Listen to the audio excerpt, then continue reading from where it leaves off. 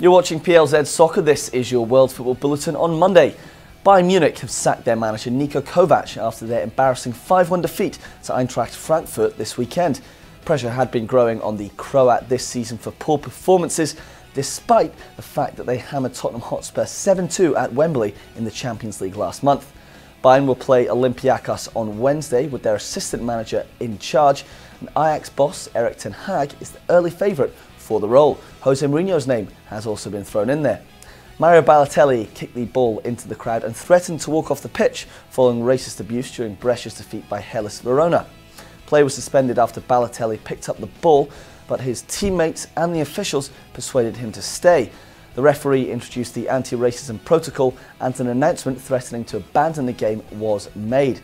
Brescia lost 2-1 despite a stunning late goal from Balotelli himself. Moving over to Spain, and it seems like no one wants to win La Liga this season. Real Madrid dropped points yet again, drawing nil-nil at home to Real Betis.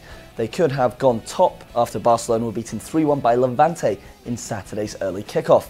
And Atletico Madrid drew 1-0 with Sevilla, meaning that two points separate the top six in the division.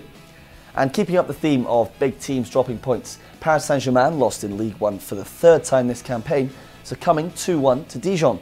Kylian Mbappe scored his seventh goal in four games, but it was not enough to make the crucial difference. That's all from me today. Thanks for watching.